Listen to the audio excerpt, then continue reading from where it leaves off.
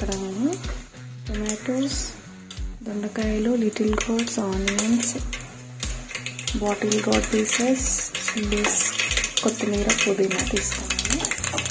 అలాగే కరివేపాకు కూడా. ఇప్పుడు ఇందులో చాప్ ఆనియన్స్ వేసుకోవాలి. అలాగే ఇందులో అల్లం వెల్లుల్లి పేస్ట్ పసుపు వేసి మిక్స్ చేసుకోవాలి. కరివేపాకు కొత్తిమీర పుదీనా వేసి మిక్స్ చేసుకోవాలి అలాగే చిల్లీస్ని ఇట్లా ఒక కాటు పెట్టుకొని ఇందులో వేసుకోవాలి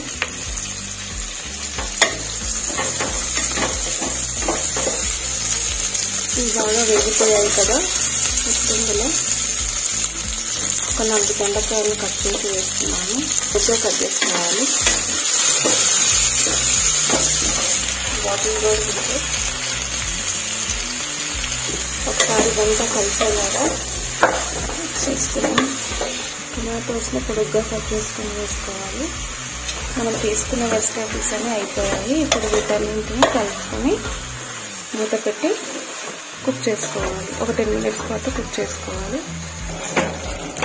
వెజిటేబుల్స్ ఫిఫ్టీ పర్సెంట్ బాయిల్ అయ్యాయండి. ముందుగా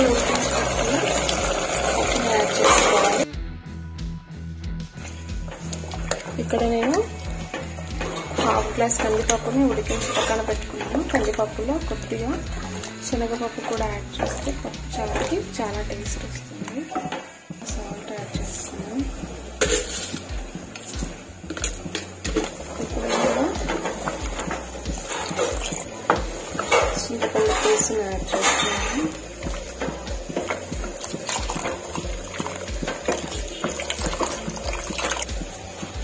ఇందులో coriander powder whole garam masala powder పావు టేబుల్ స్పూన్ జీలకర్ర వేపుపొడి ఒక టేబుల్ స్పూన్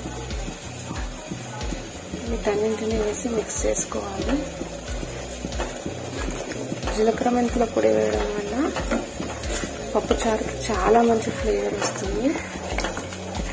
ఇంకా ఇందులో వేయాల్సిన ఇంగ్రీడియంట్స్ అన్నీ కంప్లీట్ అయిపోయాయి ఇప్పుడు దీన్ని ఒక టెన్ మినిట్స్ పాటు స్టవ్ని సిమ్లో ఉంచుకొని కుక్ చేసుకుంటే సరిపోతుంది.